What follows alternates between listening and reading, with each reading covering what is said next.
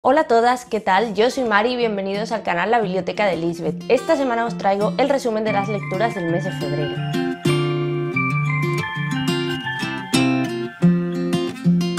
Hola a todas, ¿qué tal? Esta semana os traigo el resumen de las lecturas del mes de febrero. Leí un montón, pese a hacer el mes más corto del año, así que voy rapidísimo. En primer lugar, me gustaría hablaros de dos libros de los que ya os he hablado. Uno es Proyecto Bruno, es la última novela de Ana González Duque. Es un romance juvenil que me encantó, que está escrito con muchísimo gusto y os dejo ahí el vídeo en el que os he hablado de él. Y por otro lado, Nosotras de Rosa Montero, que me ha maravillado, tanto por la edición como por su contenido. He podido encontrar y conocer a unas mujeres maravillosas de las que no tenía ni idea de su historia y de verdad que os lo recomiendo mucho y ahora que se va acercando el Día de la Mujer, creo que es una lectura genial. También leí la novela gráfica de Matar a un ruiseñor, me ha gustado muchísimo, ya sabéis que es una historia que me encanta, he visto la película un millón de veces, he visto, he leído el libro, os hice un vídeo larguísimo hace un, hace un par de años hablando tanto de la película como del libro, ya sabéis lo que opino de esta historia, es maravillosa para leer a cualquier edad porque a cada edad que la leáis os va a dejar un pozo y una, enseñanza distinta. Y si le tengo que poner alguna pega a la novela gráfica es que, aunque los ambientes para mí están muy bien reproducidos y tiene una gama cromática muy chula y, están muy bien captados los distintos ambientes, tanto en el juzgado como esas escenas por la noche que tienen muchísima oscuridad y ese ambiente gótico, sí que es verdad que yo lo que es matar un ruiseñor en imágenes lo tengo completamente asociado a la película, lógicamente. Entonces quizás algunas veces entrar en la historia visualmente me costaba un poquito de trabajo, pero deciros que merece mucho la pena, la edición es preciosa y es una historia maravillosa para leer a cualquier edad. Otros dos libros que leí bastante cortitos fueron Reencuentro eh, de Fred Ullman y la tercera parte del Atelier de los Sombreros de Mago. Esta tercera parte de este manga me ha encantado, me ha gustado mucho más que la segunda.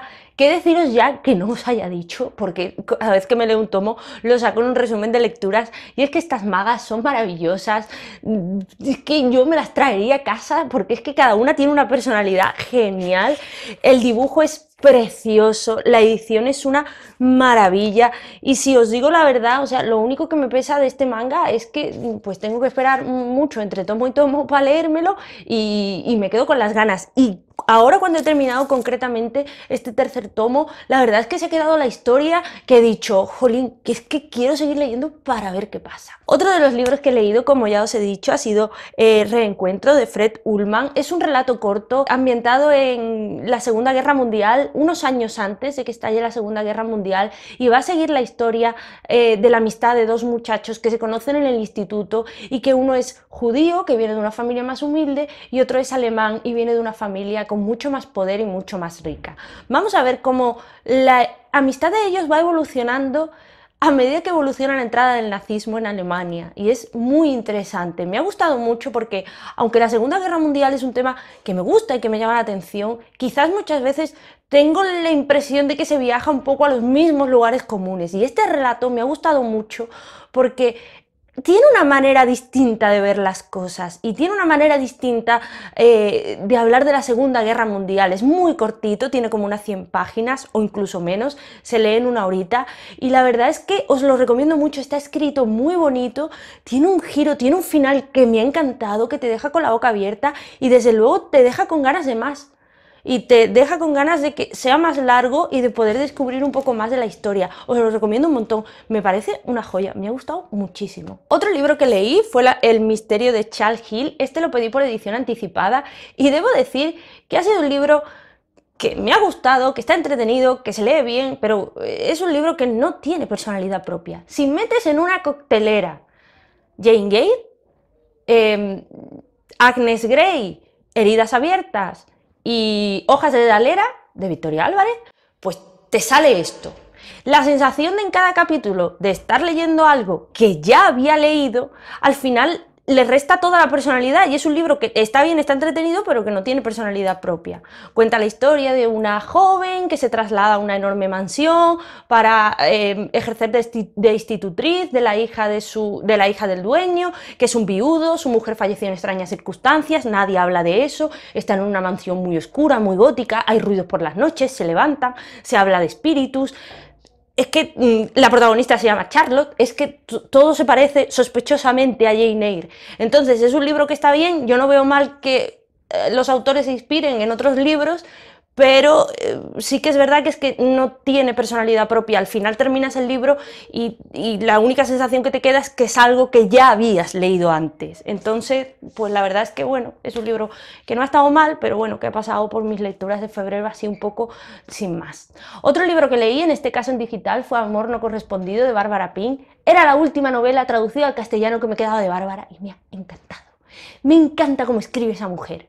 Ya os he hablado mil veces de ella. Es un libro que al final eh, explora un poco lo que explora Bárbara Pink en todos sus libros, nos va a hablar de amor, de relaciones entre hombres y mujeres, eh, de amor platónico, de amor en la edad madura, eh, de amor un poco más juvenil, de la crisis de los 40 en los hombres y de el matrimonio por necesidad, ¿no? En los tiempos en los que escribe Bárbara Pink distingue muy bien ¿no? el matrimonio por amor, cuando ella habla de amor y cuando habla de necesidad, ¿no? Un hombre se tiene que casar con una mujer, en este caso es un antropólogo, ¿no? Vamos a conocer de nuevo un antropólogo como en las anteriores novelas de Bárbara Pink y, necesita una mujer para que le pase los escritos a máquina, le haga los índices de los libros y trabaje un poco por él y le dé confort para que él pueda trabajar y estudiar y formarse.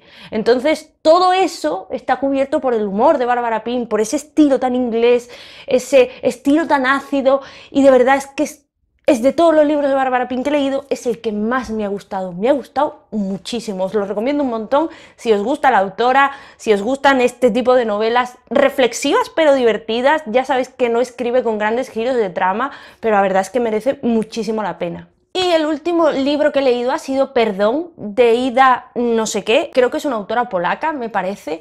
Eh, lo compré en digital en un Kindle Flash, tenía muchas ganas de leerlo porque siempre que lo había visto en las librerías me había llamado mucho la atención, tanto por su sinopsis como por su edición, pues que no me ha gustado nada. Pero nada de nada, lo he terminado rinqueando ya porque quería ver qué pasaba al final. Pero quizás yo no estoy ahora para libros tan dramáticos, para relaciones tan intensas y profundas, y para autores con un lenguaje tan florido, tan metafórico y tan no sé, nos va, a seguir la historia de, dos jóvenes que se enamoran, eh, se conocen y se enamoran instantáneamente. Ella es muy joven, tiene 21 años y él es un poquito más mayor, tiene unos 7 años más que ella.